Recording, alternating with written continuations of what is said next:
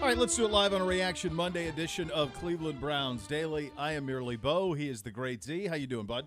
I'm doing well. Before we get into the game, which obviously was incredibly disappointing, and we'll talk about that and where this three and three Cleveland Browns team stands, I want to take a second to to share some some sad news, and that is Emery Crowder who Mm-hmm. was with us uh, when we did that amazing kind of you know World War II roundtable here. Yeah. Uh, Emery from Cleveland passed away today at 98 years of age. Myles Garrett was his favorite player, and the day that I actually met Emery, he went to a Browns game on his 95th birthday and received a number 95 Browns jersey. He was a Silver Star recipient on Saipan, where he saved the lives of 17 Marines. So uh, a, a- a true American hero, and um, we are lucky that we got to know him. Uh, the former Secretary of the Navy, Tom Modly, saying, uh, "I'm better off to have known him. We're all worse off with him gone." An American original, heroism surpassed only by his humility. So, Emery Crowder, uh, rest in peace.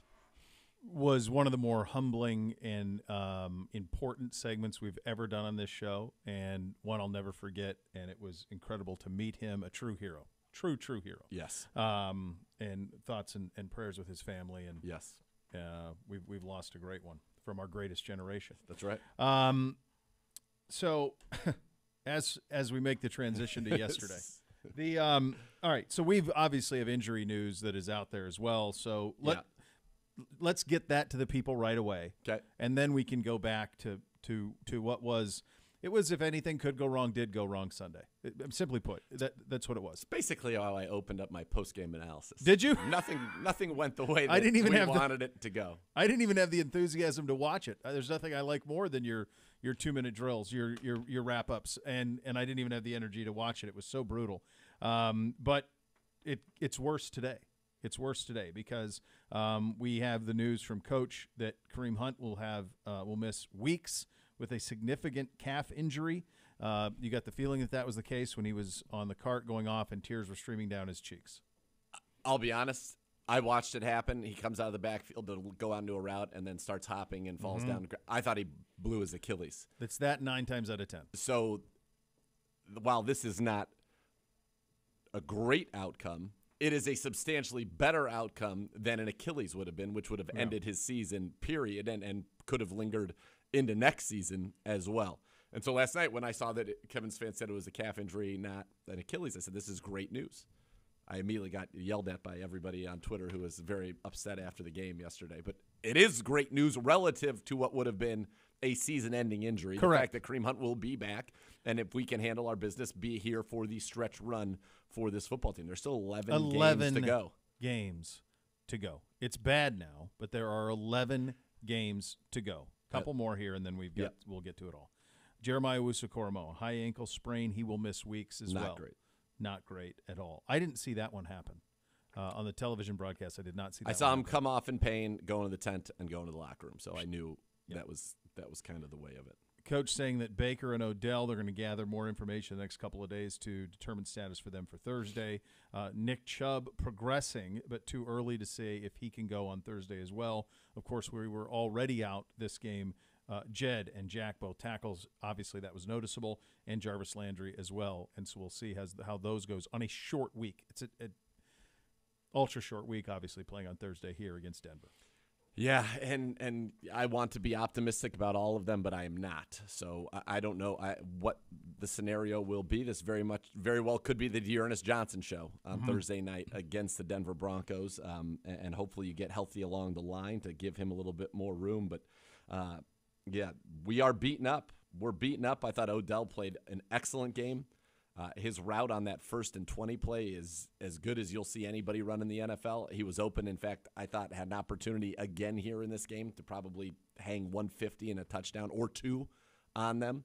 He's getting open. Yep. There's no doubt about it. He is getting open, and we've just got to have the protection, we've got to have the vision, and we've got to have the execution to capitalize on things that are out there right now offensively. This was not a great offensive performance by any stretch. In fact, I'd say it was a bad offensive performance by the Cleveland Browns. Our execution right now is uh, reminiscent to me of, of early last season again, and there were times I remember doing the show this time last year, week six, we got blasted in Pittsburgh. Yeah, I'll never forget. And we were saying, look, there's stuff out there. There are plays to be made. That is still true. We're just not making them for a variety of reasons. This is not singularly on anybody. Correct. It is a variety of things that are going on. But we are not capitalizing on our opportunities defensively. Too many busts still. Um, and we're just again third down. You you hold them on a third and twenty one basically, and a third and thirteen to field goals. It's a totally different game. And the defense actually, when you go drive by drive, did some good things. The first drive was a, a complete failure with the two with the three third downs. Of course. it couldn't be Awful. worse. But the next drive is All when all the penalties they go all the I'll way down you- the field on penalties. So there's that we need to address too, or you and I will, or I Sure. will. So they said you keep you in the clear. Um, but you also you've got that. Um, but you're right. It, the, the, you're in the game. It's 23 to 14, and you have the ball.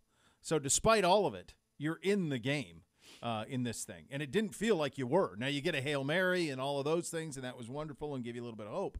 Um, big picture wise, I hate using terms like this because it's you know it's inflammatory. It can be hyperbolic. I do feel this is a crossroads. When you factor in the injuries that have incurred, who's already hurt, the way that the loss happened, the short week, it feels like if we're going to be who we think we're capable of being this year, we'll respond well against a lot of adversity this week.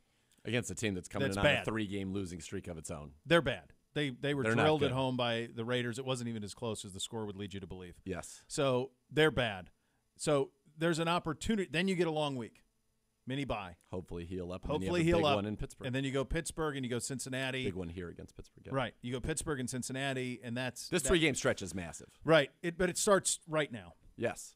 It's hard to imagine a scenario where, with when you factor in all of the injuries and everything else, that if you don't, I mean, like losing to Denver, I don't even want to consider it. But right now, like whatever this team's going to be in December, I think we'll look back at right now, starting today, next three weeks, and you'll know what you are. I, I I think that's perfectly said. Yeah, the next three weeks you talk about this Denver game and then two in the division against what has become a. They're not great. I mean, anybody watched last night? Steelers are not great. No, they're not. But that's a game Cincinnati Bengals team, and you and I, I think both in our preseason rankings had them ahead of the Steelers, and they certainly are looking. They acted accordingly. right now. That's Joe Burrow's excellent. I've been saying He it. makes everything that that everything's a layup is a layup Easy. for Burrow. Everything Smooth. that yeah, everything that every every time that there's a, a play action on 30, it's a nice easy rollout. It's in stride. It's a guy turning upfield. It's everything that's designed to be easy is. And so they're and by the way, they've got one of the most dynamic receivers in the NFL that they drafted this year in Ja'Marr Chase. And this is why you don't draft left, left tackles. You draft receivers because they're game wreckers. Yeah. This kid's a game wrecker. Ja'Marr Chase is a game wrecker. So back to our game. You've got the first series. The th- what do we? We gave up eight of fifteen on third down. I want to say. Yeah, for the game they were over fifty percent, and we were at thirty percent, which was one of the keys for me. One of was your us keys, extending yeah. our drives. Forget them, our drives. We did not do it. So you, you have that. You have probably four, and even Dean Blandino. I'll use him since he was on the call, and I text you what he said during the game because it's hard for you. You're on the side. Sometimes it's hard for me watching TV. I know sometimes it's hard for you because you're like, I, I'm, you're on the other side. What- Oh, what these all happened like? right in front of me.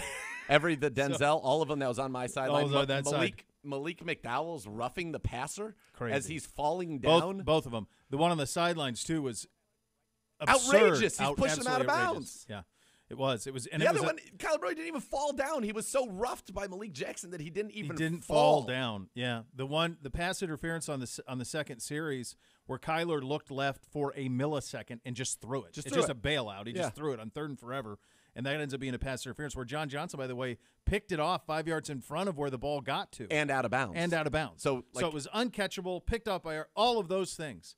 all So true. All of those things happened. It was it was bad. I They threw a play on like it felt like nine consecutive plays. They threw a flag.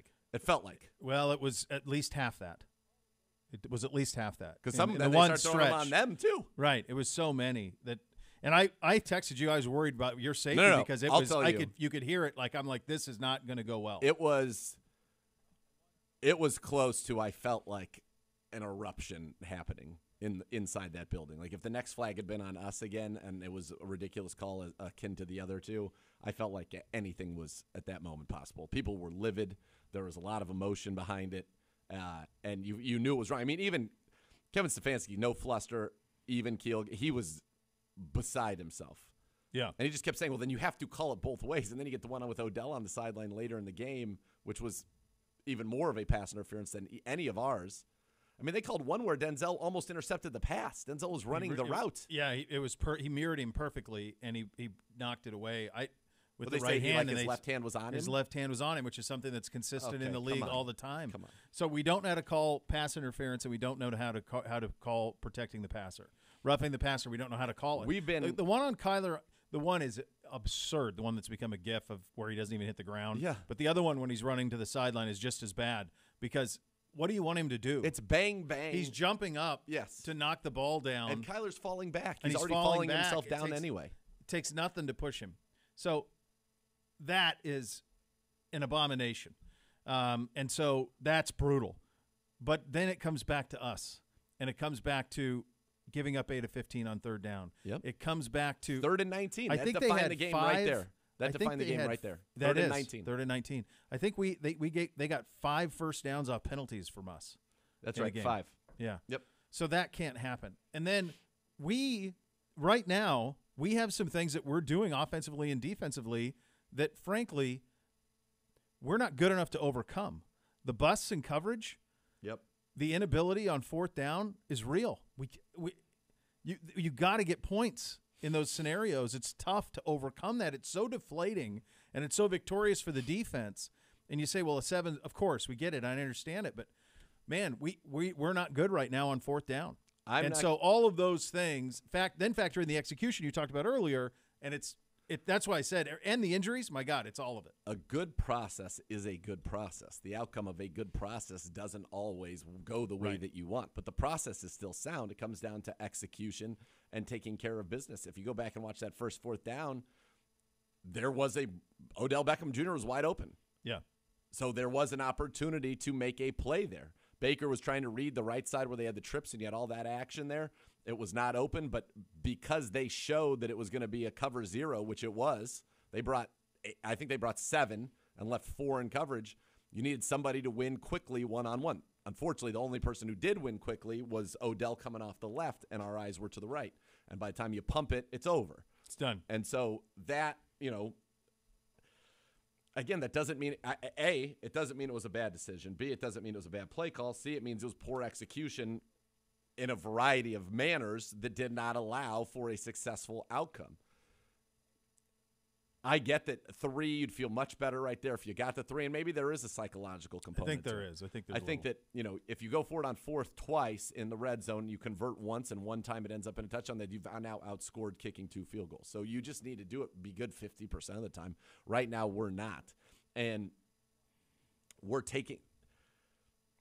It it is deflating. You're right. It's massively deflating, and we saw you know. And here's the difference, right? You go to that Chargers Ravens game. They go for it fourth and one on their own 19. The Chargers do in the third quarter. The Ravens stop them. Game over. Good night, Irene. they did it in the first half. Baltimore's up 14 to 3 and they have it at their own 40, fourth and 7 and they go for it and Baltimore stops them. Again, it's the stops money- them again. It's that mo- those money, Money plays. plays. And that's where we're- all year we're not- against the good teams, we're not there. We're not there. And here's the other thing. I think if we all were being honest with ourselves right now, if we played the schedule game at the beginning, Yeah. we'd think we'd be four and two through six. Yeah. So you'd say, okay, we're going to beat, we're probably going to lose at Kansas City. We win the two home games. Probably lose one of either Minnesota or the Chargers on the road. And then we would probably think preseason anyway, we'd come home and handle business against Arizona. Correct. I think that's fair. Four and two. So we're a game off of that. Now it happened in rather spectacular fashion that makes you feel sick to your stomach. And the other notion is that you know defensives have figured out our offense. We're a week off of putting up 500 yards, eight yards a play, No, and it's not 42 that. points. And and I would say anybody who says that, watch the tape. Our offense, there were plays we didn't make them, and that's where it's coming down to. That's what's hard, and I think that's some of the frustration Baker shared after the game, and I think some of our players is when you're when you don't execute, when you know that you should have executed better, that's frustrating. Yeah. You know, it's interception to Hollywood Higgins. Hollywood's open. It was just a bad ball. He just made a physical mistake. And the Browns are just having these execution breakdowns, I'd call them, at incredibly inopportune times. Yeah. And you heard Joel Bitonio say, You know, people, why, why if we don't have our tackles around, we don't have Nick, what are we going five wide for early in the game? Joel Bitonio just told you they were playing a 6 2 against us. Mhm. A 6 2. Yeah.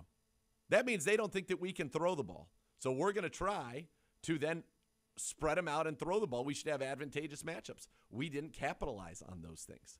It comes back down to execution. Not a great game, not one that you feel good about. The only thing you feel good about is that, look, last year in week six, we got absolutely walloped Mm-hmm. in Pittsburgh. And we all thought it was over. And then we came back and we won and we started to get it going with that win in Cincinnati. That's what we need here, but we need to get that win in this game. I'm, I'm with you. It's critical. Just like I thought that last game was bigger for us than it was for Arizona, they had every excuse in the world to lose that game. Yeah. And they won anyway. But this one, for us, this is massive. We have to win this game. Yeah, and it's going to to be cobbled together because it is uh, now they are they're not going to feel sorry for you because they were without their receivers and Chubb and everybody else. I mean, so they're they're battered too. Yeah. Um, this this injury situation we have is bordering on cataclysmic. I mean, you can't. These are our, some of our very most important players that are missing games. I mean, you're going to probably you know hopefully Chubb, but I, I'm not optimistic. No. I mean, you're talking about no Chubb or Hunt. You're talking about JOK. Both tackles missed. Jarvis hasn't played yet, and who knows what this week's going to look like. You've missed Newsome. You have missed incredible. Some of the most important players on the in the Five of your starting 11. Jeez. Jarvis and Odell haven't played a snap together. Yeah. So Not it's a one. lot. It's a lot to overcome. It is a lot to overcome. But, but there is still 11 weeks of this season left. And the last time we felt like this was a year ago after Pittsburgh, and you go down, you beat Cincinnati. Remember how brutal that Cincinnati? That could have gone one way or another. At the- in, in yeah. Cincinnati, and you go down and you win. Donovan Peoples Jones, who by the way, you throw it to him, he catches it. I mean, I just think that's just pretty simple. You throw it to him, he catches it. We've been saying it forever. Nobody, listen, nobody's Nobody. been beating the Donovan Peoples Nobody. Jones drum bigger than you and I. No, jeez. So there's some things that got to get sorted out. Like that one catch he had on the, the curl route where the guy was literally in his jersey. yeah, His hands are so strong. so strong. he, you know, he reminds me of now. And I want to see. We haven't seen him in a lot of yards after the catch situations to maybe do this. But the way that he attacks the football and the way that it doesn't matter if anybody's, he reminds me of Anquan Boldin in that sense. Just a big, strong Yeah. guy who is physical. Yeah, I, I don't have a problem with that. mean, There's I- a little little Michael Thomas to him too. I covered it. I covered him down in a Yeah, very, very much, very much. Used to play a lot of the a lot of the NCAA football with him, if memory serves, Duh. back in the day. Those are your OBM hot topics. Ohio Business Machine, preferred copy provider, your At Cleveland least I got the city right that time. All the X's and O's for your office.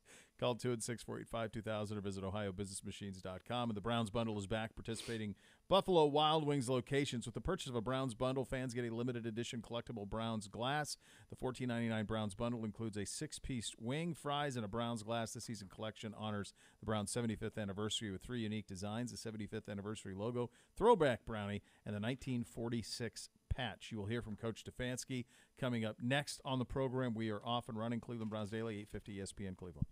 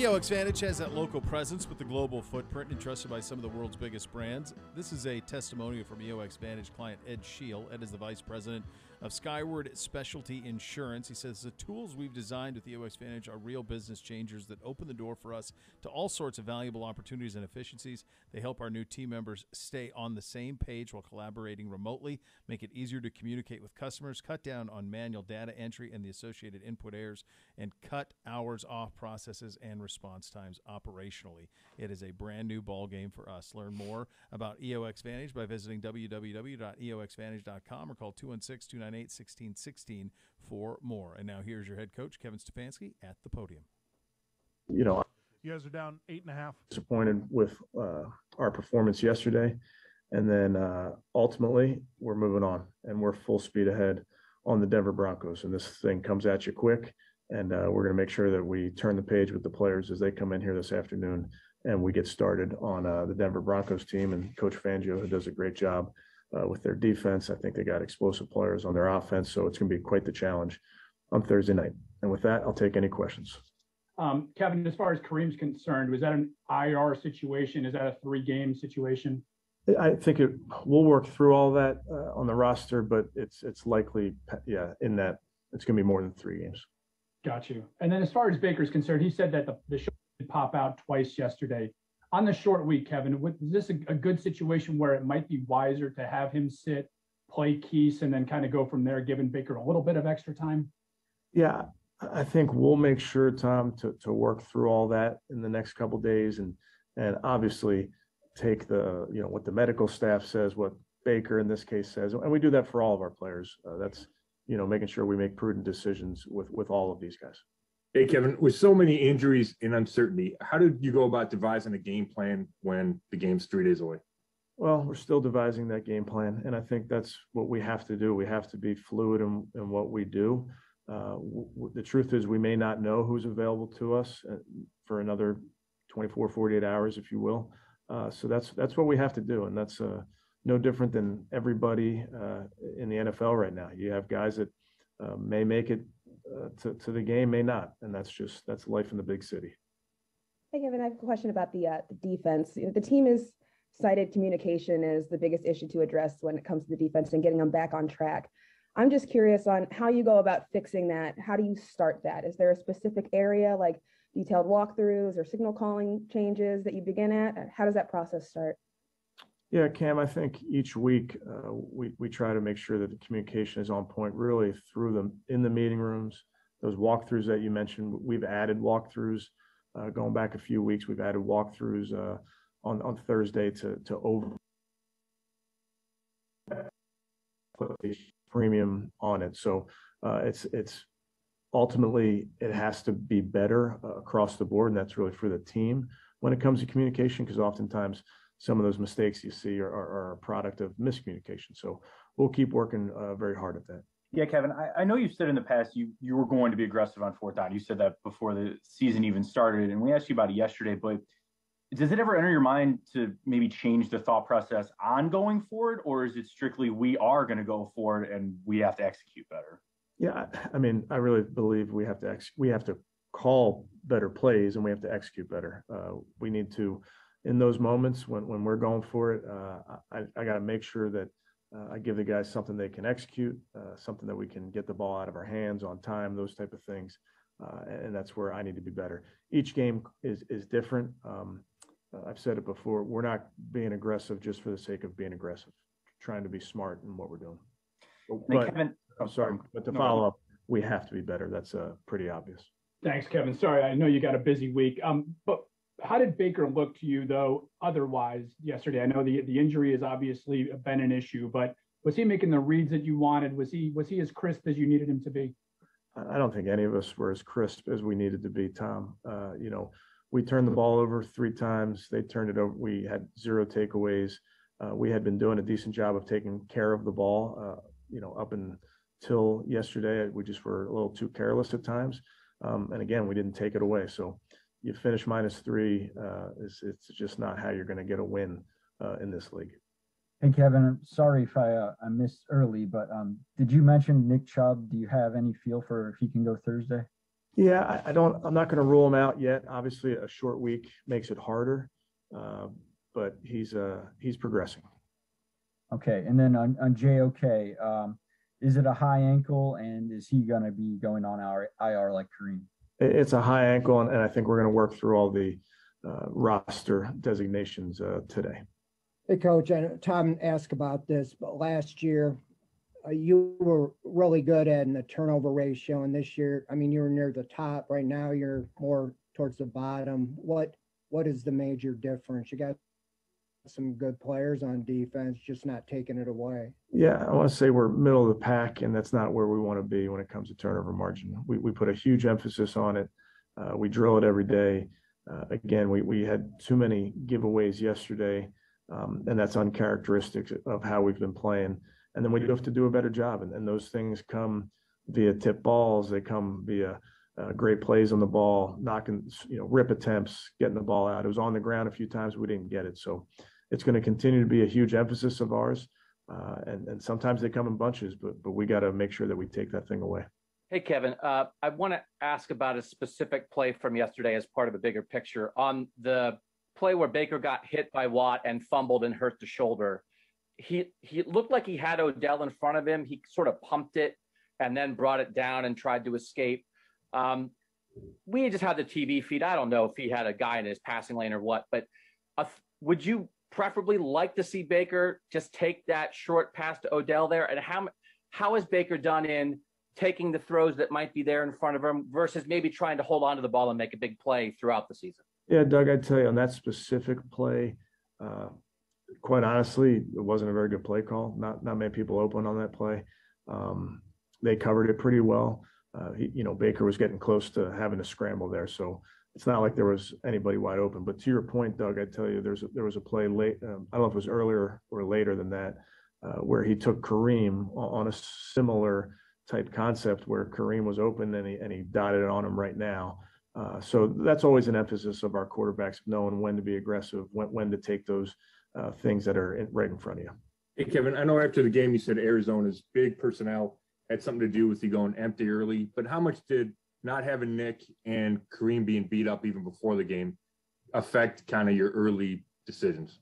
Yeah, I mean, yeah, it was part of it. Uh, you know, we, we wanted to make sure we spread the ball around, and uh, we we felt like we had opportunities uh, there in, in some of those uh, concepts versus their bigger personnel. Um, but I credit the Cardinals; they, they did a nice job. Well, then moving forward, you won't have Kareem Thursday. We don't know about Nick yet. How much confidence do you have in the run game, um, just as itself with you know two backup guys and maybe even backup tackles still? Yeah, I have confidence in our guys, Scott. Uh, I think you've seen it over the course of time. Guys step up. That's the again the nature of the beast. The NFL, you're going to have guys in and out of your lineup every single week.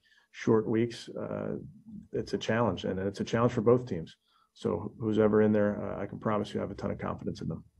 Uh, yeah, coach. Uh, one more thing about the defense. Just considering the, all the issues, do you have you considered simplifying things? Just to, I don't know, is that would that help? Yeah, I, I think those are the type of things that we're always uh, discussing Back in 30. on offense, defense, and special teams. Uh, we need to we need to be better. We need to be more consistent. Uh, some of our uh, mistakes, it's it really isn't a matter of simple or hard. We just got to make sure we do our job. Uh, so, but uh, what ultimately I tell you, Marlon, is we, we got to look at every angle uh, and what we can do better as coaches, what we can do better as players. Does the coaching staff feel a little bit out of sync too? I think anytime you lose a game like that, we all feel out of sync. Uh, we just we, we didn't do a good enough job. You're up. Yeah, uh, look, coach, coach taking a lot of the heat there. That's his style. That's how he does it. Um, and and putting it a lot on him. The buck stops with him, so I understand that certainly.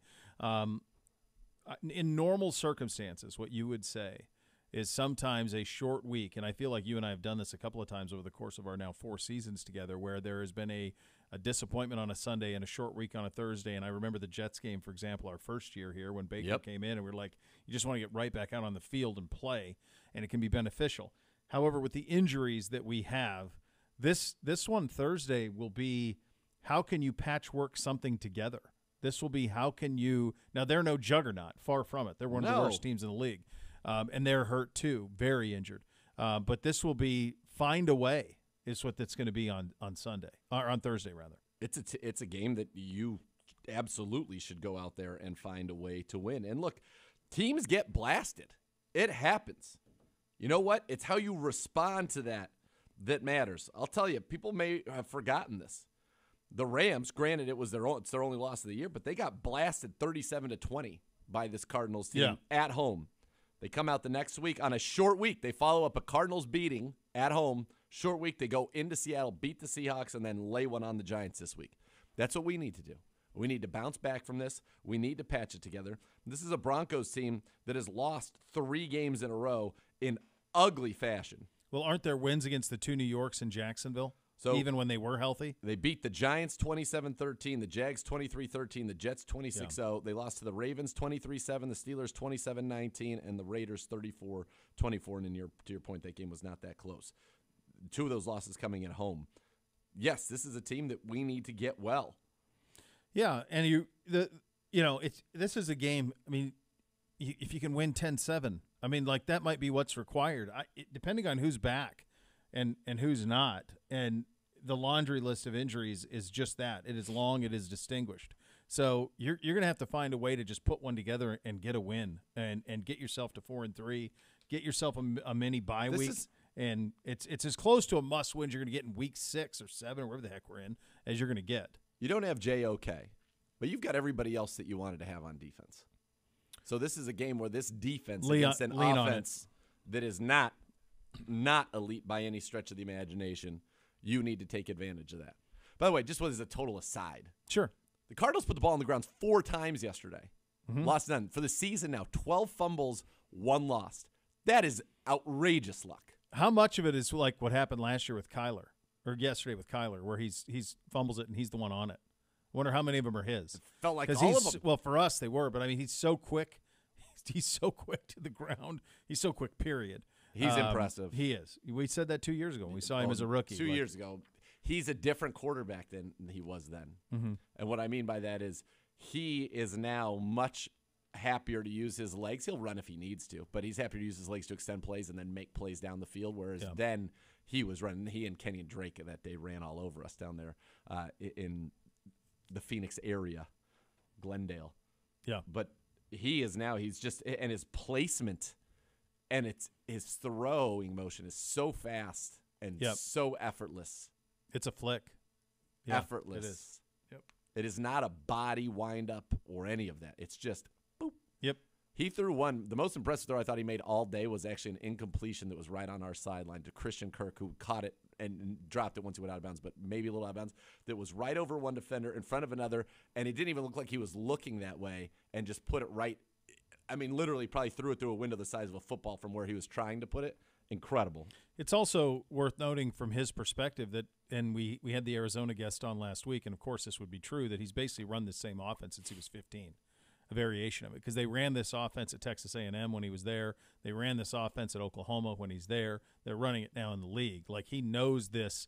It's the reason where even on the the bailout pass interference when he throws it down the left side to DeAndre Hopkins, he knows he's there even though he doesn't even look. Then look, Knows exactly the the depth he's going to be at Yep. to where and he gets a bailout call, but that's the job, Yeah. right? We see that, folks. We are not the only ones. These these pass interference penalties are happening all over the league right now. You, that's why you see so many former players. Mitchell Schwartz, latest among them last week. There was another yesterday where this the officiating in this league is under incredible scrutiny because the inconsistencies in the pass interference penalties and the inconsistencies in the roughing the passer. Now these are done because the data says you like a lot of offense, and everybody does, but it's got to be fair. And right now it's not, and it's it's costing teams games. I'm not saying it cost us a game. We got You need- beasted pretty good, but in terms of You need the sky judge, and You he gotta have, have that It's too authority. late. He does not have that. There's somebody who you know they can talk to says, "Oh, the spot's off" or whatever, but they don't have the authority to say. We need to get these things right. There's too much at stake. Not the reason we lost. No. And again, we're three and three. It feels like we're talking as though we were zero and Well- six, which we've done in the past. We're just not where we should be, and that didn't pass the eye test. We have a chance to get it right, though, and this is a we are entering a critical stretch. Yeah. I, I think the reason this one hurts is because it's probably the first time under Coach Stefanski that we've had one of these that felt like you're going to win and you didn't. Uh, for for me, it was anyway. Even last year in Pittsburgh, like we were still finding our way. It wasn't like we thought. I mean, this was one where I realized they came in five and zero, but we said last week the things that we do well, they struggle at. You thought you'd be able to run the ball on them. You didn't know you'd be without both tackles, as you ended up being a bit well, without both tackles. You thought you'd be able to get pressure with Kyler up the middle. How many sacks did we have? Two. Two. Yeah. I'd like a ruling though. My understanding is that when a ball is snapped and Yeah. a bad snap, and the quarterback goes and picks it up, the first person who touches him is usually credited with a sack. We should have had three. In that case, they did not call that a sack. Well, so for the uh, over under, You're trying to tweak the over under. See me how it's going already. I'm on to you. We were in the same boat, dude. Just saying. dude. Trying to help you out, Gibbe. I, Jesse Gibbe is more fun at four and one. Just if you go one Nathan, and four and I go on five, that doesn't make need it help. fun. I'm winning. Oh boy. He even he even stretched out the lead a little bit last week. I don't even. Uh, I, I just know winning. Stretched it out. you do. I think, I think he put another four and one on the books. Did Chesney Gibby?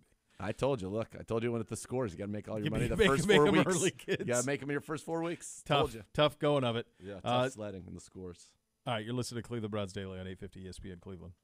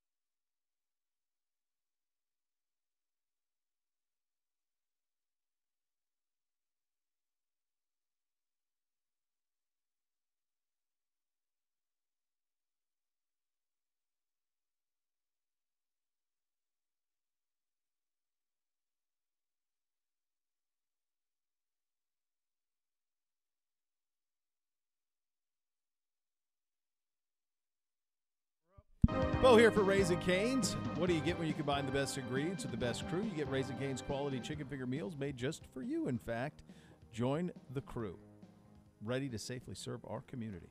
Apply today at work at canes.com or text RC Jobs to 97211. Standard message rates may apply. Raising Canes is one love. So we are three and three, as you mentioned.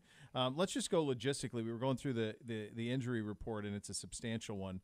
Um, if it is De- as your only tailback, then who else is in the wings waiting uh, to help out on Thursday if indeed Nick Chubb joins Kareem Hunt as down? Well, and it, the the tough part, right, is that it's a short week, and so and, and you don't know about Jarvis, and, and you're starting to get the sense that you know perhaps Jarvis won't be ready for Thursday. So, Demetric Felton, who played running back in college, he's been a receiver for this football team. Yes, I know it says on that time. depth chart that he's running back, but he doesn't. He didn't take any reps this week at running back. He took all his reps at receiver. He played receiver in the game. So John Kelly, who had that a, a nice that game against the Giants, I want to say it was in the preseason where he had a little Yeah. bit of an explosion. He would be probably activated from the practice squad, especially if, if Kareem goes on IR. I bet he would just get the immediate call up to being on the roster. And that's where you would be at running back. You'd have Johnny Stanton. You'd have Felton in an emergency situation, but Dear, it'd be the D'Ernest Johnson shows, frankly, is what it would be. I think you'd become your full time back. And by the way, going back and watching the tape, that Hail Mary doesn't happen without D'Ernest Johnson. Pretty good pick up there, wasn't it? Marcus Golden looped all the way around to where nobody would expect him, and as Baker rolled right, D'Ernest saw him and put him right on the ground, allowing that play to happen. Um, but it would be D'Ernest Johnson there. Now you go to tackle. You got Blake Hance. You have got James Hudson. Alex Taylor, who was with you all preseason, cut, brought back to the practice squad last week, was active this week. He he's your third tackle now. I mean, it's dire at tackle. And I think it's my guess is that there's probably more likelihood of Conklin than Wills, but you'd like to have both of those guys back. Yeah. So I mean, we could be looking at rolling out kind of a, a starting offense that is probably the same at receiver. I think Odell should be fine. I mean, he played through that shoulder and played again. I thought he played very very well in this game. Um, and then you had, you know, you'll have them. You'll have your tight ends, but you know, your line could be without the tackles. Your running backs definitely without Hunt. It sounds like maybe Chubb as well. So yeah, it's gonna be the D'Ernest Johnson show. This is a game though. You look, you gotta get done. It's everybody needs to get in there. Everybody needs to step up. This D'Ernest is good as you know Chubb and Hunt? No, but he's been a guy who's been very serviceable for his career, over five yards a carry, and we're going to need him. Now this is this is one of the best run defenses that we have faced. The Broncos, nobody really has run on against them except for the Steelers. Najee Harris, 142 yards for the Steelers in that game. He rushed for 122. No other team of running backs has rushed for 100 against this Broncos team. So it's a tough matchup. This is a tough. It's a good defense, not a great offense. This is a game where our defense needs to come out and flat out dominate. No, yeah. I mean, yes, it's that type. I mean, they. That's what I'm saying. Like, they are not going to feel sorry for your injuries. They don't have Jeudy. They don't have Hamler. Uh, they don't have Bradley Chubb. Like, they don't. They they've had all sorts of injuries Jeudy as well. could be back. He was I would activated to practice. I would too. I don't, I I'd don't be want it. I would think that they would use the you know the extra long bye week to to get him right. Um, but you know, and defensively, you know, in regard to the run game, you know, Derek Carr had a day against them throwing the ball. They, they've given up a lot of that. Najee with that explosion for him, he's really he's gotten better. Last night, you know, he was able to get in the run game in the pass game and help you out. And he, he's a really good player. They just aren't have an ability to run the ball. He's a fine fantasy player. He He's was. Doing, he was. He's doing just fine for you. He's a good football player too. He, Oh, yeah. he does great in blitz pickup. He does great as a relief valve for Roethlisberger. Oh, we're now No, connecting good. on those. We are early in the season. Not. Not. Not. And the reason, of course, we say we is because you and I both drafted him in fantasy, and early on we're quite frustrated Yes. by the inability to find him in the flat. But now they have sorted that out. Um, but him having success running against Denver, that was the first time that he had success running the ball. Up until that point, it had all been. It, he was he was Mr. Twenty carries, fifty four yards He early was. this season. He was. uh, but but got it going a little bit. They're not great. In fact, they're they're quite frankly the opposite of great. Yeah. There's not really anything that scares you with what they do um, in the in the out at receiver. Fant's a nice player. Sutton's fine. Sutton's good. He's a good player. Yep. Um, they've gotten Javonte Williams going a little bit. He was their draft pick that I know They don't like. give him the ball though. If you look, they split it with he and Melvin Gordon. I mean, when I say they are split, We had 15 targets last week, and Gordon had- identical. yeah, Gordon was right around the same. So they kind of it's kind of a split between the two of them. But he is coming along a little bit um, over the. He's over a the big play though. That's what scares me. His he is a chunk run runner. For the season, Gordon 70 carries, Javonte Williams 65, Gordon 16 targets, 13 catches, Javonte Williams 15 targets, 14 catches. I mean, they split out. Courtland Sutton though, 471 yards, 15 yards a catch. He, he can do some things. He's dangerous. Tim Patrick is the reliable one. He's got 344 and three touchdowns. Then they've got Noah Fant 273 and a touchdown as well. Yeah, they're. I would say that, but I remember we went to them. Remember a couple of years ago, and it was a bomb to Sutton. It was a cat 75 Yeah, yard catch and run to Noah Fant, and they had another big play. They had three chunk plays that basically iced us out in that game. Yeah. You can get home on their front. Uh, our D line should have a day. Our our D line should have a day. And honestly, it's the type of game where it, it will be the defensive. It's going to be on the defensive side. That's going to have to be pretty good to to sort it out. And as you mentioned, I mean, you're devastated by the loss of JOK, but other than that, you're pretty You're there close to where you need to be defensively. Yeah. How did Newsome uh, look? He looked good, and he came out of it uh, feeling great. No worse for wear. So I think that his reps will increase. He could go back to his starting role. I'm not sure if that's how they how they're going to do it, but you know, Greedy's played well in his absence. Um, although he and AJ, he had a tough time, I think, with AJ Green. AJ Green still got some Yeah. juice left. That's quite the receiving core they have with what they can do with all those guys. Kirk flies. He flies. Rondale Moore is just a jitterbug. He's bounces around. Give him some handoffs yesterday. Yeah, yeah. He's he's scary And, and, Hopkins is just maybe. I mean, it's Davante Adams, and then maybe DeAndre Hopkins is second. I mean, Davante's probably in his own category right now, but yeah, yeah. they're right there. They're right there. That that NFC West. I know we'll go around the league in a bit. That NFC West is going to be as the Rams have the one slip up against them, but other than that, they've been steamrolling and they steamrolled again yesterday. So and and Seattle's in, in big trouble. Do you think that uh, do you think that Russ knew that the camera was on him when he was faking the two minute drill? Do? I don't know. Do you I mean, think he knew? Do you really need to get on your knee in the fake huddle? I mean, it it's was- incredible commitment. It's incredible commitment. I'm sorry, I had to laugh. It, it reminded me of when Watt was on Hard Knocks, and he would like remember how he would perform for Hard Knocks, JJ. Yes, like in Yeah, that's what it was like. It was, you know, he was. I'm thinking, boy, the dedication to this and the in the huddle, and we're on a knee, and we're in the meantime, like calling the play. For those who don't, if you haven't seen this, like there is a clip from Sunday Night Football talking about Russell Wilson, and he's spectacular. I, he's no one has been a bigger fan of Russell Wilson uh, than I have through the years in terms of him being underrated and how great he is and how much is on him and how special he is and all of that. I usually have him far too high, really ranked in the when we do uh, better or worse, in part because of it. But this is absurd. So it's like a two minute clip of him running two minute offense from the sky cam. Yeah. Now, here's if you've never been to an NFL game on Sunday Night Football or a Super Bowl or something like that, where they have that sky cam, which is I don't, they don't have it every game, right? We have it now every game. First Energy. Do we have it every Uh-huh. game now? Okay, so there's some places that have it every game. For a while, it was a reserve for Sunday Night Football, Monday Night Football, playoffs, Super Bowls, that type of stuff.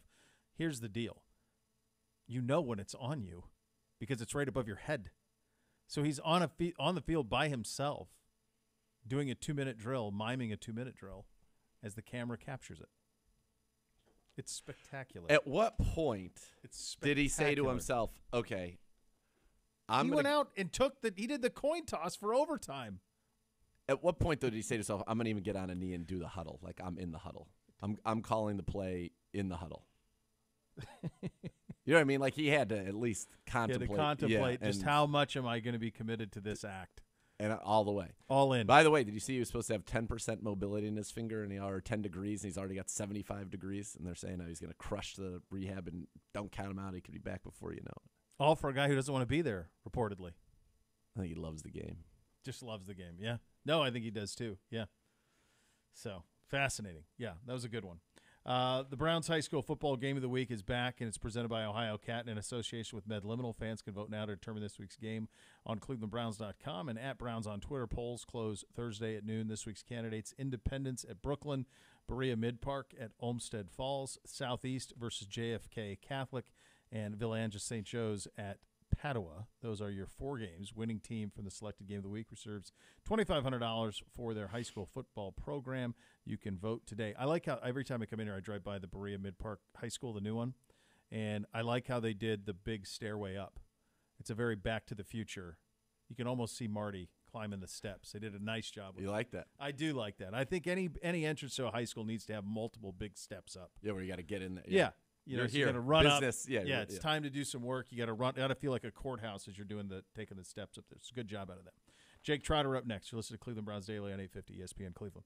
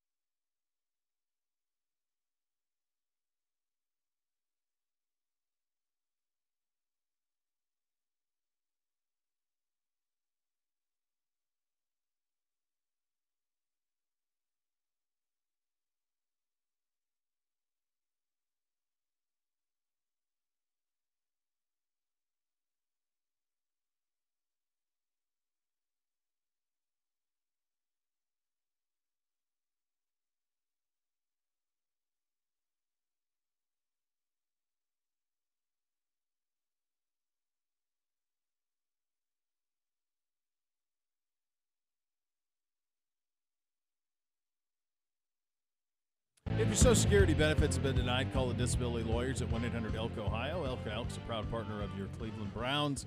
Second hour of the program here on a Reaction Monday, and time to head out on the hotline for our good buddy Jake Trotter, covers the Browns for ESPN's NFL Nation. Uh, Jake, I said earlier uh, in the show that uh, if this team is to accomplish, you know, what it thought possible before the season, that the crossroads of that season is right now. When you factor in injuries, when you factor in what happened on Sunday, uh, where were you now that uh, we're at the middle of the day, almost 24 hours later, with with where this team is and what it can still get done? Yeah, Beau, it does feel like this is a fork in the road game on Thursday night. And, you know, Browns are going to be shorthanded. How shorthanded, we'll see. Uh, but it, it, it's a huge game. It's a winnable game despite the injuries. And if you get out of Thursday night with a victory, you have a winning record. You've got some winnable games coming up before the schedule strengthens again down the stretch of the season. So, I mean, John Johnson the third said it today. He called it a must win. I mean, it, it, it's a massive game. I, I think if the Browns are going to get back on track because uh, if you don't win Thursday, it, it starts to get kind of difficult finding enough victories on the schedule to get you where you think you need to be to get in the playoffs.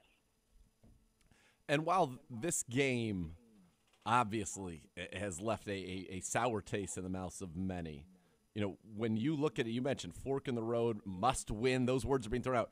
After week six last year, we weren't feeling great either. It was a big week seven that, frankly, was in the balance till the, the last moments down there in Cincinnati that maybe kind of turned things around for this team. But what what needs to, if you're going to identify one thing that must get better, what is it? Yeah, I've been thinking about that Pittsburgh game last year, right? I mean, it just felt like, oh my goodness, you know, this is not looking great. And then Cincinnati the next weekend, uh, you know, they play spectacularly in the in the second half, and and we're off and rolling from there. You know, Nathan, I there's a lot of places, right? I mean, uh, you know, I think a quarterback has to play better uh, than he has, yep. and I think you know there are reasons for that.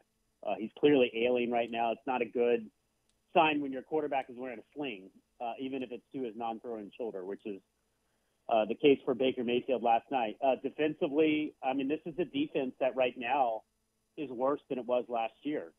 And I know they play some good offenses, um, but they've also caught some breaks too, where you know didn't have to play uh, Tyrod Taylor against the Texans and, and went up against uh, you know Justin Fields in in, in his first start, uh, where he clearly you know might not have been ready for that moment. So.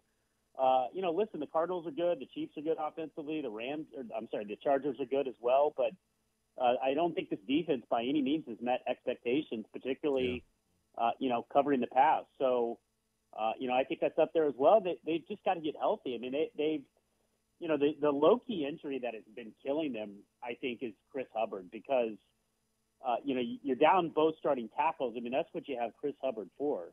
You know, Yeah. valuable six man who can step in if there's an injury to Jack Conklin or or to Jed Wills. But then you lose both those guys and Hubbard, and all of a sudden you're just in bad shape at tackle. So I, I think there's a, a bunch of issues right now. I mean, I didn't get into all of them, honestly. I mean, um, but but there's enough time for them to turn it around, and I think a win on Thursday. Now you've got you know ten days before your next game. Uh, you have some winnable games. Uh, I think the Pittsburgh game showed last year, uh, Pittsburgh to Cincinnati, that you can turn things around pretty quickly. But uh, you got to start stacking some wins because uh, you know you you've got some tough ones still ahead. Yeah, you certainly do, and and you're in a division where Baltimore wins again in impressive fashion over the Chargers. Uh, the Bengals now stacked another impressive win. You beat Detroit, yeah, but they acted accordingly. They whipped them. It wasn't even as close as 34-11 would lead you to believe. So you can't lose too much ground here. By the way, Pittsburgh wins. They're three and three. You got to start making a hay. And I understand the divisional games are left to be played. Um, when when you think about these these injuries that that have occurred, uh, specifically on the offensive side of the ball. And if it is in fact D'Ernest and there is no Nick Chubb to join Kareem Hunt, if that in fact is if that's the way it ends up going on Thursday, and we don't know that at this point, but if it does go that way and you don't have both those tackles back, from what you've seen offensively, we, when, and we talked about the defensive issues and they're they're real right now. How do you go about your business to beat a team like Denver that's not very good? What does it look like, Jake? Well, I think number one is you can't lose the turnover battle three Yep. to nothing. Is what happened Sunday, and uh, those three turnovers turned into you know 13 Arizona points. Now I think you know obviously Arizona probably wins the game going away, and I, I look at it the other way. If you take the hail mary out of the equation, Yep. uh, you know the Browns lose that game 37 to seven. Which Um, would be kind of like so- week six last year. yeah, feels very week six ish. Uh, by the way, Baker, people forget, you know, was ailing in that Pittsburgh game. Yep. Uh, and if I remember correctly, it was his throwing shoulder uh, that was bothering him at that point. Yeah. Uh, so yeah, a lot of parallels uh, to last year in that sense. But I mean, I, I think you're not you're not going to be full strength no matter what. Uh, you can't turn the ball over. Um, you know, it would be helpful to have a big special teams play. You know, big defensive turnover. Uh, you know, to take some pressure off the offense, and then you just you got to get back to to doing what you do, no matter who is at running back, which is you know running the ball, setting up play action, and and getting some shots downfield. They just feel like they they've gotten away from what they did so well last year at time of season. I mean, uh, I think it was the, like the first 13 snaps, 11 of of of them they were in shotgun, and yeah, you know the the, the Cardinals were daring them to throw. You know, Joel Bitonio said today that Yeah. they're facing a lot of six-two fronts. Guess what? They're going to be facing a lot of six-two fronts going forward. Uh, the way that that game went Sunday, and they're going to have to figure out ways to establish the run, uh, get back and play action, and get Baker outside the pocket where he's most comfortable. I guess that's what I was asking is if if is Kit right now what do you what do you hang your hat on in the pass game? If if you have to do that and Arizona made us do it, you're going to probably see that against Denver. You'll see that against Pittsburgh. You'll see it against everyone's going to say we're not letting these backs beat us. Whether it's D'Ernest or the other two, we're not. So beat us throwing the ball. What can you hang your hat on in the pass game? I mean, you know what would what, what would help is to get Jarvis Landry back. I mean, we've forgotten about him Yeah. completely um, because of all the other injuries and all the other issues. But you know, getting a, a you know leader like that back on the field, uh, you know, to, to bring some continuity, uh, you know, kind of stabilize things in the passing game, I think I think would help uh, for sure because you're you know you're really relying on some young guys right now. You know, Anthony Schwartz, uh, Donovan Peoples Jones is like the only guy it felt like who played well on Yeah. Sunday. Um, you know, getting some more experience out there, I think would help uh, with the passing game. But listen, I mean, uh, you know, Jay, James Hudson, I think is a really promising rookie. Uh, you know, I think he's a chance to be a good player. If you know, if he's having a block Von Miller, uh, that's a that's a matchup that Denver is going to, uh, I think, enjoy. So you've got to, you know, you, you got to get the tight ends on the field. Uh, you've got to try to protect your quarterback, and um, you, got to run the try to run the ball even even if they're stacking the box because that that's um, that's what's going to make you successful right now. Uh, I, I don't think that uh, you know trying to get into empty and, and throwing the ball down downfield, uh, given where Baker is and given where the offensive line is, is, is probably ideal at this point. Yeah, Jake, when you watch Baker and you mentioned the, the quarterback play needs to be a little bit better, what is kind of the biggest change that you've seen from the Baker who was humming? And, and frankly, we were one of the most efficient empty teams in the league last year over the second half of the season to now we are not able to execute and take advantage of opportunities that, that may seem to be presenting themselves upon a second examination. Yeah, I mean the, the, the misnomer about last season is that well the Browns ran the ball all, all year. It really wasn't the case. I mean, No. down the stretch of last season, Tennessee on the road, Baltimore Monday Night Football, um, you know Cincinnati on the road. I mean, they, those were games that the Browns won throwing the ball downfield, and and they won because, uh, or or at least had a chance to win the case of Baltimore, uh, because of the way that the, Baker Mayfield was throwing the ball. So, um, you know, I, I think you know, number one, and this has been a problem all year, even when he was playing better on, uh, early on in the season, he's taken way too many sacks. Um, I, I haven't had a chance to check it after he take, he took five sacks yesterday, but he was last in the NFL in sack EPA in the Q, uh, QBR metric. So, um, you know, part of that is the offensive line, but Baker's got to get rid of the ball. And and the fumbles uh, yesterday, you know, they came from him kind of hanging in the pocket too much. He's he's got to be uh, you know, more decisive, and, and if something's not there, uh, you know, get rid of it or or, or something. Um, you know, I, I it's weird with with Odell because you know there were some moments yesterday where they really had it going, uh, and then there are other times, um, you know, whether it's Odell's end of it or Baker's, uh, where they're just not on the same page in, in key moments. Uh, you think about the fourth down drop uh, last week. Uh, you know, fourth down early on in the game, and fourth down, by the way, is a whole other issue for this team. Uh, but you know, Baker, uh, you know, holds on to the ball. He's got Odell open. Wide Uh, open. doesn't see him, takes the sack, and then Arizona goes the other way. Uh, you know, and then at the end of the game, uh, you know, Odell, I think, you know, I don't know if it was quote unquote a drop, but he got a chance to to make a catch on fourth down Yeah. uh, there as well. So I mean, it's it's um it's a number of uh, uh, of issues. Like you can't really pinpoint one thing. And then I think just from a team perspective, if they're not going to start converting some of these fourth downs, they're going to have to start taking some points. The Browns right now are going for it uh, on fourth down uh, more than anybody in the NFL by like a considerable margin, and yet uh, their offensive EPA per play on fourth down is I tweeted it out this morning is like in the low 20s.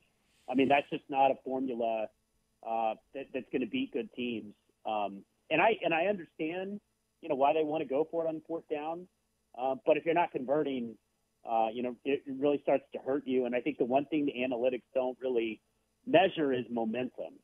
Yep. And you just kind of feel like the the sa- the win come out of the sail on some of these fourth down miscues where you know you had a chance for points and all of a sudden you got the you know Kyler Murray going the other direction and that's tough. So uh, there's a lot to iron out, and you know it's Baker, it's, it's the offensive line, the defense, uh, special teams even. I mean it's it's it's really hard to kind of you know you ask me what ails this team. It's a lot. It it is a lot, and I think it's got to be very difficult for Kevin Stefanski when he says, "Okay, we, this is the process. We don't want to. If it's a good process, it's a good process. The outcomes have not been great because we're not executing." And I think when you go back and you watch, for example, that fourth down where they bring the house, it's cover zero. You look right. Okay, you got three guys over there. They got three. It's not there. You got to come off it, and and and then Odell, he might have scored on that play, you, assuming he would have caught it. He would have scored. He, he was wide open, and and you don't get it, and Yep. that ends up being a massive backbreaker to your point. Uh, I also think it's time for there, and there are a lot of people out there that have been, you know, very down on Jarvis Landry. It's clear that Jarvis Landry means a hell of a lot to this football team, and to this, and to our quarterback, to Baker Mayfield. His presence on the field, he's just he he knows what to do when you need a play. You can get it to him, and he'll get open. And I think what we saw in this game, Jake, is that you know, and DPJ catches everything that's thrown to him. Hollywood typically does as well.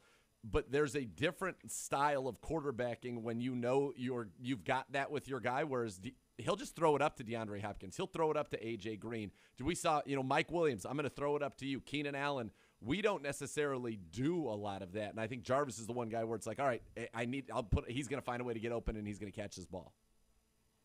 Well, yeah, I mean, there's no doubt that Jarvis is Baker's go-to guy. I mean, o- Odell gets all the ink um, because he's, you know, he's the superstar and he gets open uh, in the media. But but Jar- but Jarvis Landry is the go-to guy Yep. on this team, and he's ba- he's Baker's go-to guy. I mean, Case Keenum was telling me during training camp that uh, ba- uh, Baker and Jarvis will, you know, they'll be out there in game-like situations or games themselves, and they will be connecting on plays that aren't even in the playbook, just from a look. I mean, that's the kind of rapport that they have, and you take that away from a quarterback. Um, and as talented as Odell is, I mean, I think it's pretty clear Baker and Odell don't have uh, that that kind of chemistry right now. So, um, you know, that that's something that, that that is hurting Baker as well. And and maybe outside Baker, I, I, I think Jarvis is as big a leader in that locker room as anybody else on the team. And I'm not not trying to slight anybody else, but Right.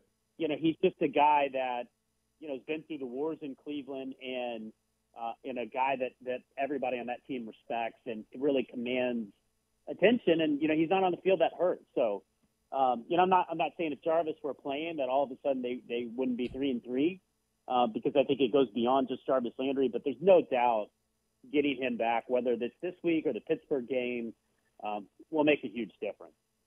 Jake, one on the opposing quarterback with your familiarity uh, from covering the University of Oklahoma. Would you have had him being this good? In most people's eyes, the MVP front runner here six weeks into the season. We're talking about Kyler. Kyler, yeah. Um, yeah, I mean, I, I knew as soon as Cliff got hired uh, at Arizona that Kyler was going to be the pick because I, I'd always, you know, I, I'd had multiple conversations, you know, about quarterbacks in general, but Kyler specifically uh, you know, where Cliff would carry on about how dynamic and great, um, you know, Kyler Murray was. And, you know, what, what makes Kyler so tough is, and I was telling somebody this yesterday, you can't get a shot on him. Uh, you like, you, you, you know, he's a mobile quarterback and with mobile quarterbacks, you worry about their durability, right? Um, but, but the way he's able to slide and kind of slither away and, you know, duck, he just doesn't take very many big hits. And so, uh, you know, he's able to, I, think this is the other part of his game that, that's so difficult to defend is, you know, as good a runner as he is, what, what, what, what would scare me as a defensive coordinator is not him, you know, running for 10 yards, but running outside the pocket and then throwing the ball downfield. And how many times did we see him do that yesterday where you're like, he takes off and you're, you're thinking, okay, he's just going to run for the first down. He stops and, and then finds a receiver for, you know, 25 yards instead of taking the 10 yard run. So, yeah, I mean, I, I don't know who would, you know, maybe other than Lamar, you know, who ahead, would be ahead of him uh, in the MVP conversation right now. And Josh Allen. the, the other, other part of Arizona is, man, the receivers they have. I mean, it's just um, now that now that they're adding Ertz to that equation uh, next week, they're going to be uh, an absolute load to defend here going forward. Yeah, certainly are. Jake, good stuff as always, buddy. Appreciate you. Okay, guys, take care. All right, that's our buddy Jake Trotter, ESPN NFL Nation Browns reporter, joining us on the hotline. You'll hear some players. I believe we have Joel Bitonio at the at the podium, so that is Yeah. coming up next. You're listening to Cleveland Browns Daily on 850 ESPN Cleveland.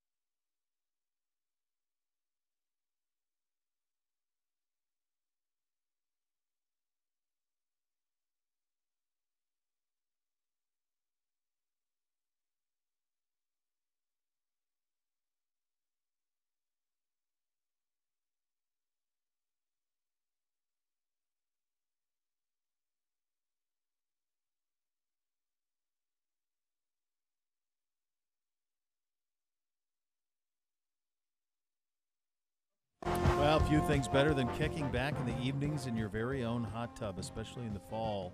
Maybe even watching a little football along the way. It can happen. Northeast Factory Direct, buy hot tubs by the truckload. Took everything you hate about shopping away. There's no big fancy showroom or annoying high pressure salespeople. Northeast Factory Direct is a simple warehouse. Their sales staff doesn't work on commission. They pass the savings on to you. If you've always wanted a hot tub but didn't think you could afford one, now you can. Go see for yourself. West 140th Street in Cleveland, Lakeland Boulevard in Euclid, or Freeway Drive in Macedonia, or shop them online anytime at northeastfactorydirect.com. Here's Joel Bitonio at the podium. It's like a mash You guys are down today. how how tough is it? seven minutes. You guys got to have the next man up mentality and what have you. But when the injuries start to mount like they are right now, how tough is it just to keep guys upbeat and, and pushing forward? Yeah, it's you know unfortunate. It, it's I mean you always deal with injuries in the NFL. Um, seems like it's piling up a little bit for us right now, but um, but like you said, like we have a game in I don't know three days now, so like we have to we have to be focused on the guys that are going to be out on the field for us, and you know hopefully we can get a few guys back that that haven't been out there, and, and we can get guys ready to play.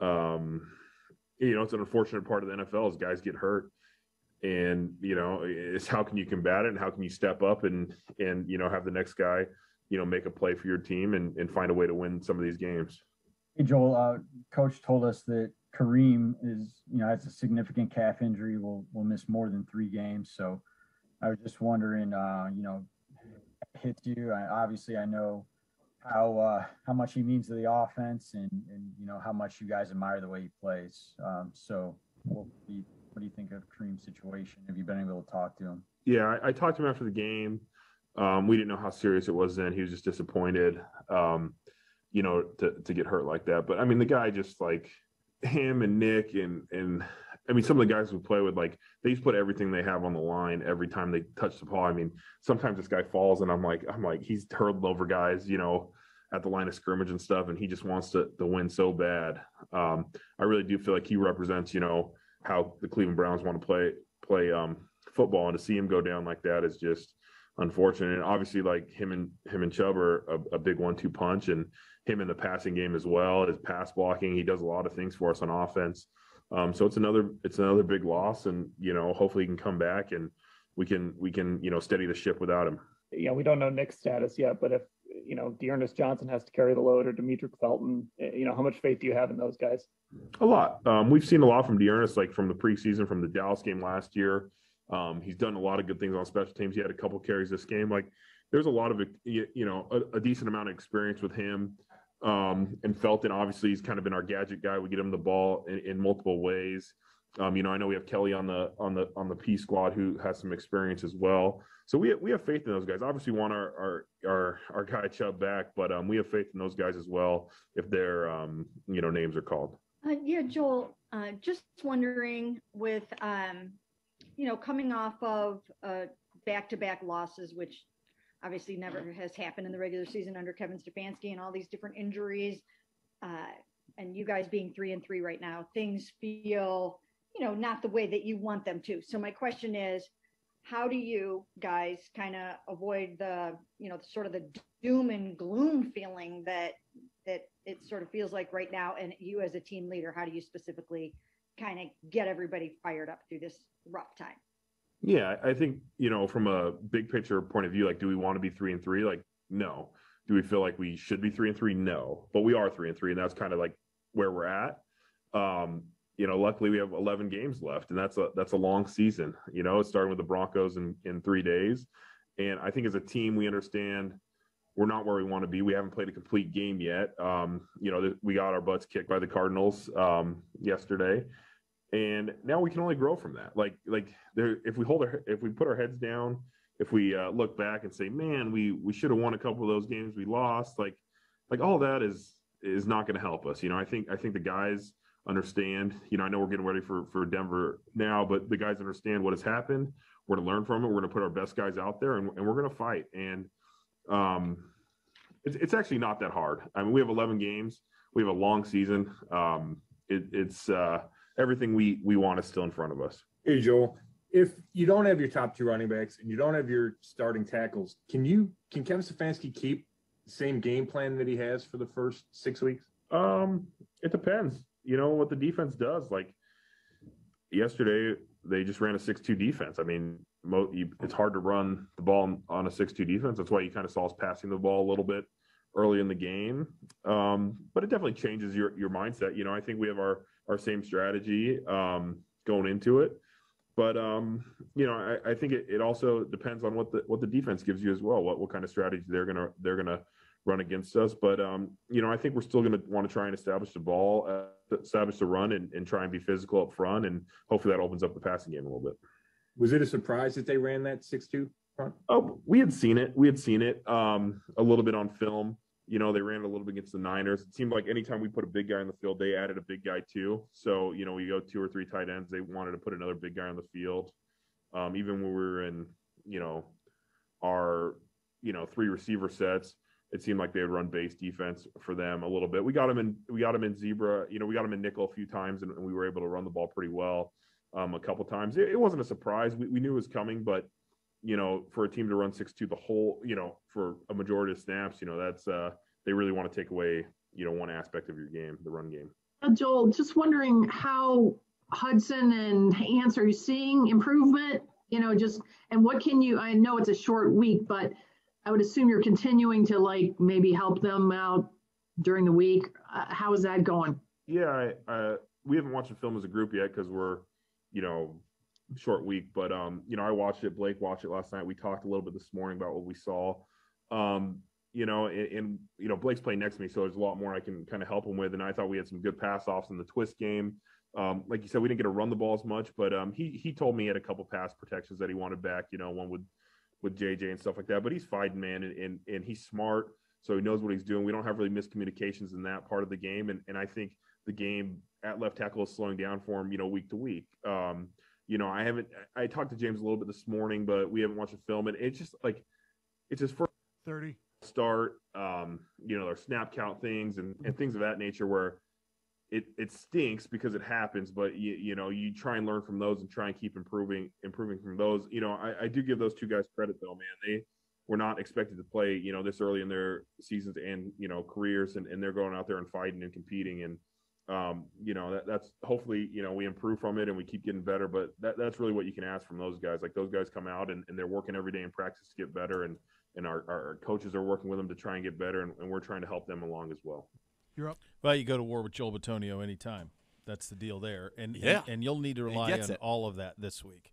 Uh, short week ton of injuries on the offensive side of the ball. Who knows the availability of the backs? Um, certainly receivers as well. Uh, you feel like Odell would be fine, but coach said, well, that'll be a kind of a wait and see thing. Um, your quarterback's injured too, so you got a lot of questions here. You're going to need to rely on those veterans uh, to try and take care of business Thursday uh, against Denver in a game that, frankly, will need all of you. You're going to need all of the home field in this one on Thursday. You are. We're going to need to be loud. And as I said, this is a game where you're going to want to lean on your defense against an offense that has not exactly lit up the scoreboard. You need to shut them down. Teddy Bridgewater is a guy that is very smart in his decision making. If we bust, he will find those busts, but at the same time, he does not have the arm, especially outdoors, right, to try to throw and drive the ball in the intermediate and deep game. And so you have to be sound. You put them in third and longs. You play right to the sticks, and he will check it down to eight yards, come up and tackle. That's the other thing. I mean, we missed tackles in this game. Yeah. that touchdown by DeAndre Hopkins that freeze frame before as as Yeah. he catches the ball, Delpit's right in front of him. JOK is coming from the his right to the left from how you're looking at it. That's a freeze frame that you'd say, "What's the outcome of this play?" He gets tackled. Ninety nine times out of hundred, he probably gets tackled and said it's a touchdown. We've just got to be sound. That's what I said. I mean, it it, it truly was an, a darn near everything that could go wrong did. Did. Uh, Sure both did. every every facet. Hammer hit some good balls though. Yeah, Hammer and Donovan Peoples Jones had good, Man, good games. That's an incredible catch he makes on the on the hail mary to go up and get it. He's so strong. I, I like think- your Anquan Boldin. I think that's pretty good. I think the one he made on that curl route earlier is. I just don't even understand it. He just catches it. You throw it there, he catches it. I mean, it just Yeah. the game's Throw it he- more. Yeah, it makes it pretty simple uh, when you have somebody that good. Um, what did you make of the hail and the rain before the game? Were you a fan of that or not? Anybody who's listening to watch Countdown, I think they saw my feelings on that situation as we were. Can we get a screen grab of? Somebody tweeted out. Anybody who watched Countdown yesterday, send out the screen grab while and the hail's falling and our I wore a, a dark navy suit. Yeah. With kind of like a light blue pinstripe, very faint though. You'd have to Yeah. be close to see the detail. Hanford was in a, I would call it like a light green suit, Oh no. and Gerard was in a pink blazer. Oh, the pastels are not going to treat well with wet. So they are they ended up in multicolored coats. It was like Joseph and the Amazing Technicolor Dreamcoat. it was a coat of many colors. I mean, it looks absurd. If somebody has screen grab, send it because Beau got or I'll I can walk Beau down and new Rob's got it. New Rob, new Yeah, Rob, he's got it. New Rob's listening. Send it. Send send us a uh, an image of it. I want to see it. He I sent me the gif where I where I broke the fourth wall and looked directly. Oh, I my- love doing that. I used to love breaking the my fourth ISO wall. camera, and I'm just like, in my in my TV uh, my TV days, breaking the fourth wall is always Yeah. It's very exciting. I love when when that happens. Can I see that? Can I see your face? That's what I want to see.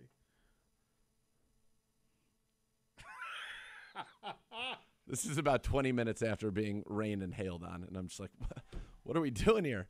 What's happening? I need, I needed that on a Monday, especially this Monday. Yeah, I mean, I'm gonna tell That- that we need a was- 'cause longer version. We need like a Here's little, the deal. Here's the deal is you you know, you can your words, you can, you know, frustration, but facial expression is subconscious. I mean, it's just what you it's the way you feel. You can't help it. And and your disgust at that is pretty great. That is pretty good. And you don't get that out of you because you're a glass half full guy. You thrive on I'm just sitting there thinking, optimism. okay, it's not supposed to rain. Yeah. Okay, the temperature has dropped into the 30s quickly, rapidly. Yeah. it is. I am soaked, like to the point where it's soaked through my suit into my boxers. Oh no. It's soaked through my suit to my shirt. Like I'm And soaked. now there's wind. How am I going to dry my how? And I got a whole game. We're a long way from game. This time. is right. This is 11:30. I'm going to be here until at least Was there 7:30. any thought of going home and returning, or was it? There was a thought, but as Gibbe Gibbe was making fun of me, said I was in a, a foul mood, so I just went up to the radio studio and sat in front of their heaters, and I didn't talk for about two hours. What did he? I was pleasantly silent look, though. Look, the, the- pleasantly the, silent. the rain we did not account for. Yeah. However, you not accounting for when the sun went down and things got cold is on you. I would have been fine. First of all, it was like 60 by four, five o'clock. I was fine throughout the game. Had I come in, i- if I were in more of that exact outfit in dry clothes, I wore ankle socks. I had no socks. It You was had no socks. But I was fine. At no point during Yeah. the game was I cold, other than sometimes when the wetness that had now you know frosted and it would bring a chill to my bone. Other than that, I would have been fine. Jeez, what a day! Like I said, everything that could did. We went through like 10 towels just trying to wipe the desk off. There was so much water. I had to start doing the segment. I had to have my hands not on the desk. I'm not sure the desk survived yesterday. I there could be some bigger issues. Like if you put your arm on the desk, it, was, in like a all in quarter water. inch of water. Oh my god! So I just sat like this. Jeez. But we got it through. Professionals. Well, pros. Big, big What are you shout out to Das, Hanford, and Gerard. Good job out of you guys. We'll go around the league coming up next. You're listening to Cleveland Browns Daily on 850 ESPN Cleveland.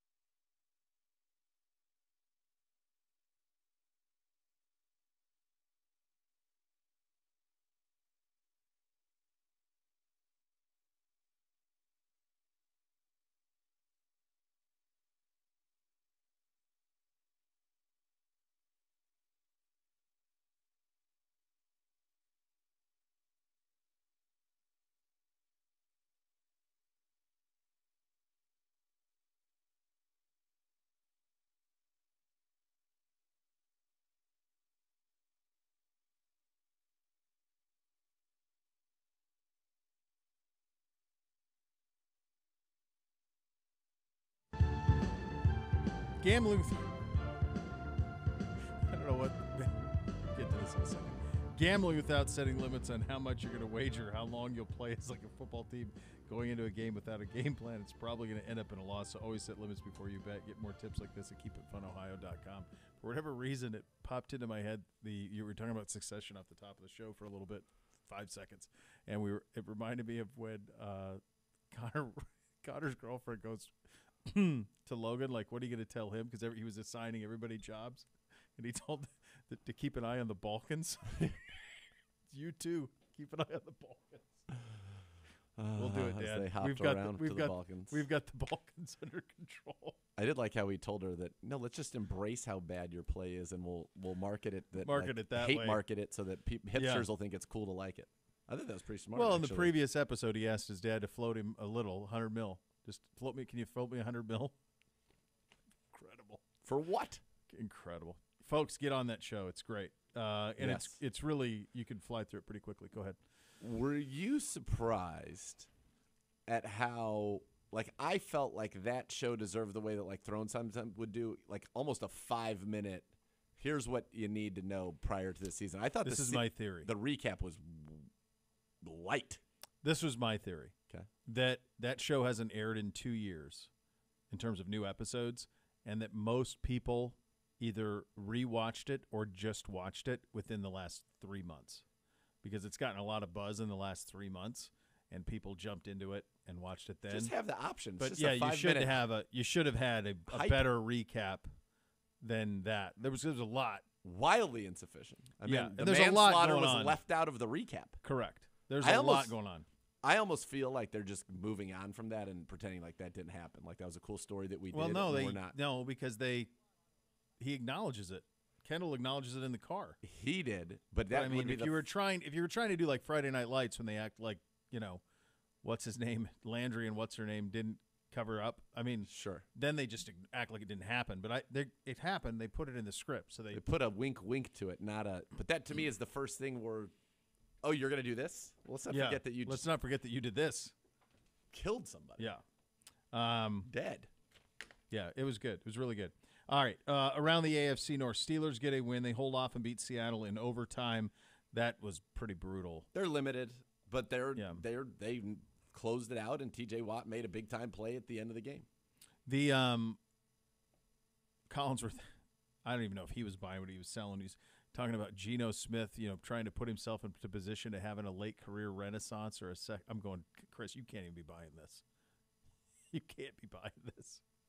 I'll give them credit; they made a good adjustment at halftime because it looked like Yeah. that game was going to be a something to zero, where they maybe picked up three first downs all game, and they came out and gave the ball to Alex Collins, former Raven, and ran all over him. They did. Yeah, they absolutely did. And um, they are two and four. The rate you want to talk about an attention getter in the words of Buford T. Justice. The Ravens absolutely beast the Chargers, thirty-four to six. Uh, in that one, Lamar wasn't particularly sharp, but he made all the throws he needed to, dominant. and the defense was absolutely dominant. That's the scary part because I, I kept hearing out of Baltimore in the preseason the deep those guys aren't coming along the way that they wanted them to. Marcus Peters done for the year. That was a huge injury at the time, huge, and they're fine. They are just fine. They are five and one. That's a team that so easily could be two and four. Yeah. and yet here they are at five and one, and so This they're was dangerous. Oh, oh, I had an opportunity as I was trying to dry off in front of the heaters with Gibbe to watch quite a bit of that. That was the the nat at least that was CBS was showing that game, and it was very impressive. Lamar's little sidearm, just little poofs are great. Yeah, yeah, he is. That wasn't even his best he had game. a cool that Monday moment. night was so good. Yeah, he had a cool moment last week at the end of last week with the video team at the Ravens, where they set up a deal where um, the folks from Louisville, the coaches at Louisville, tell him through a Zoom that his number eight is going to be retired at Louisville. He's just the second player at Louisville to have his number retired. Oh, by the way, the other one's Johnny Unitas. He's not even 25 years of age yet. Lamar doesn't turn 25, I think, until January. Um, so he got emotional, and it was it was cool. It was a cool. Moment. you know what? He's such a good guy. Appears to be. Appears to be. Could have been to loves him. else, yeah. Oh, he was so great to everybody. Yeah, absolutely. Gracious. Uh, the Bengals four and two. They whipped the Lions thirty-four to eleven. You say, well, Beau, what? Of course they whipped the Lions. The It was- Ravens didn't whip the Lions. No, and and The Detroit Packers had lost on last se- second field goals in a couple of weeks. Uh, pe- they hung with people. They hung with the Niners. They hung with. They came back on the Niners. They hung with the Packers, and the Lions whipped them. And Ja'Marr Chase is, boy, he's example one. And not all receivers are this, but when you get a game wrecking receiver, and you have the opportunity to trade to draft one, you draft one, because if you draft Penei Sewell, I'm telling you right now, this this Bengals team is not four and two. Ja'Marr Chase gives them something that they've never that they frankly don't have. I don't know if they they haven't had it since probably Chad Ocho. Ochocinco. Well, Or AJ, AJ Green. they've had a couple of them. Yeah, they've had a couple of them, but he's so explosive. Sever- His separation is crazy. 27 catches, 553 yards, 20.5 a catch, and Jeez. five touchdowns. Gosh. And then they have two guys. They have Tyler Boyd who works underneath very well, and they have Tee Higgins who's big and near the red zone. You can throw it up to him. Mixon is a stud. They're good. Joe Burrow's averaging nine yards per attempt. Now it's crazy. He's thrown seven picks already, 14 touchdowns, so still a two to one interception ratio, but he's averaging nine yards an attempt. Yeah, he's he throws it. He's elite. Yep, he is. Um, around the league, Dallas. Do you, you guys happen to? Were you home in time, or I- was I on the phone with you with the walk off? CeeDee Lamb walk off. We were on the phone. We were on the phone. Yeah, we were on the phone talking, and I and CeeDee Lamb walked it off. See you later. Thanks a lot. That hurt me in the scores. Couldn't have just kicked a field goal there? No. Well, the that, I, th- I thought for sure I was going down, and then I- I- oh, let's just walk it off. I saw the highlight of him showboating into the end zone. There is no question I would have put him into the wall. Of course I- you I would would have been. They I- I- tried to, and he popped right back up. and then he went right waved. back- then I would have started throwing haymakers. like this. I'd have, I'd have dropped guy, him again. guy smokes him. So he holds the ball out and really loafs in, like barely makes it. He does. But he makes it. He scores. He holds the ball out. He scores. They sh- the defensive back shoves him to the ground. He rolls over, spins right back up, and waves at him. I just speared him. Oh I'd man, put him down no. again. You Just can't walk off. You can't hate when he's when he's He's so stop good. him. Stop him if you don't want that. He is so good. That was pretty good. Um, the best heel turn, of course, was in Chicago, which was the easiest game of all weekend to pick, where Aaron Rodgers told uh, Chicago fans after scoring the game-winning touchdown and doing the uh, the belt, "I've owned you my whole life. I still own you." Is Yeah, what he said. That's pretty. I love Picked Aaron up on a mic. All right, hold on. Let me ask you. Hold on a second. Hold on a second. Huh? Hold on one second. You love that, and you have no problem with that. But There's CD a track record. CD has- Lamb in a walk-off situation. I'm putting him through a wall. He waves at me. I'm doing this. You you have no pride. You're so if you're a Chicago Bear, you're prideless. But if you're a Patriot now, you're upset. Well, I mean, the Bears knew before kickoff yesterday they were going to get beat. I'm just saying there feels like there's a little bit of hypocrisy happening. No, no, A no, little no, double standard There feels like perhaps. yeah, there feels like a, a double standard. There's no double standard. If you're i- if if you're doing a little showboat into the He end didn't even do it's- anything that bad. It was a barely a showboat, and then the guy pushes Yo, him. The guy it walks was in. barely anything. We've he seen Dion way high worse. step the last No, 10 we. yards. I'm watch, watching Get it right now. here. You get out of here with that noise. Come on. Dallas is good. Dallas is good. C.D. Lamb. Diggs got another kick, another uh, return touchdown. They got beat on an out and up, but the safety should have had his back, I think. But he got a, he had another pick six. He's got seven now Yeah, on the season. that's right. Man, that's that's, getting it done. That is crazy.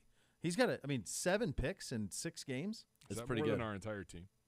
I can't imagine. Yes, we have two. Yeah, Yeah. It's Yeah, more it's than not I think every. It's like more than can't be like many teams 28 that have teams. seven. Yeah. Um. So it, I'm interesting. upset now. I love. First of all, Sealand to It's me, great, yeah. nothing wrong with this at all. In fact, I've seen way worse, way worse. I'll tell you when he starts trotting.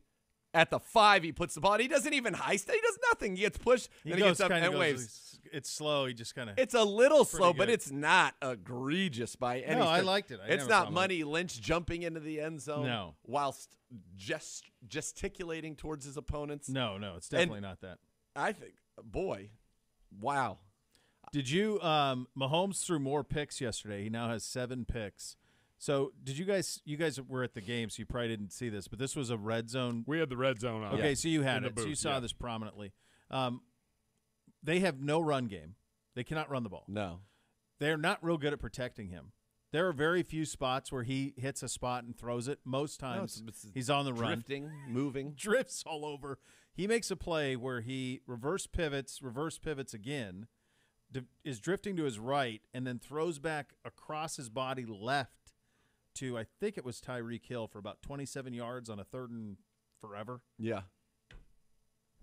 He's doing so much for them. I know he's got a ton of picks, but what he's being asked to do every single game is, is Oh. pretty crazy. Yes. Pretty crazy. He's got it all on his shoulders, and and you know, I said some idiots on social going, "Oh, well, you got to pay him 400 million. Gladly, gladly. Yeah, it's gonna 'cause be if the they steal of the didn't him- century, Yeah. Right? Steal of the century, paying that kid the 400 million. They have no no defense, no offensive No. line, no run game. They have can't run him. it. They can't block it. And Kelce is Kelce okay? Do we? have I don't know. about that? He's banged up. Hill's a little bit banged up. Did you guys see Urban get bailed out by the by the Dolphins? Okay. Zegura lost his mind in the booth. The only time Zegura What? talked in two hours. What are we doing? There's so many people who don't know football. It's crazy. He dove forward, so he didn't give himself up. You Yeah. just don't touch him, and the clock expires. Game's over. It's over. Go to overtime. Why would you touch him down? I have no idea. It's absolutely insane. I, have no know it's instinct, but that's where you I'm touch. screaming. Do not touch we, the ball. We went the other way on the scores on that one because Yeah. it was all about the grind for me. All the and, grind. And I told I, am yelling at at 10 seconds. I'm like, why are they not taking a timeout? They're They not should've. take a timeout, throw it over the middle. You have the timeout, throw it over the middle, and do exactly what they ended up doing. But I'm like, why are you not taking the timeout? What are you doing? And they clearly were setting up like, oh well, maybe we should kick a field goal, run a play and kick a field goal. Well, yeah, do that. but all, just don't touch him. Just don't touch him. It's awful. And it ended up being the Dolphins who take the timeout, didn't they? Dolphins were so. They did so many bad things. On that. Buffoonery. By the Um, way, that one ball did touch the guy's finger. I don't understand. Like, what does it? Oh, need- I know. What does it need to be? What's clear and you can freeze frame it, and you can see the ball, and then you see his finger bend. The only way it Correct. could, if if force was applied to it by an object, which in this Yeah. case was a ball, and they say no, it didn't touch him. What? Crazy. All right, we will get you uh, little little football tonight. Bills and Titans. Get you set for that coming up. Do up. the next. opposite. Cleveland Browns Daily, eight fifty, ESPN Cleveland.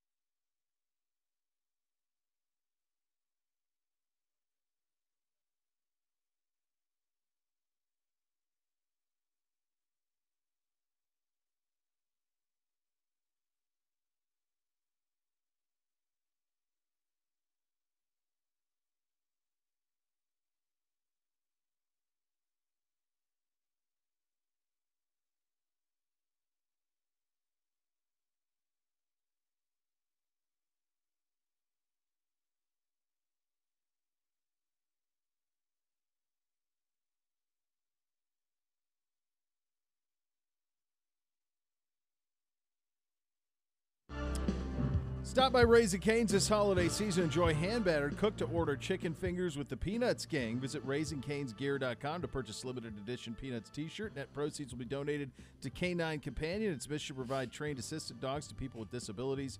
You're looking for a place to have fun while working hard? Raising Canes is hiring as well. Visit workatcanes.com or text RC Jobs to 97211. Raising Canes, one love. Bills at Titans.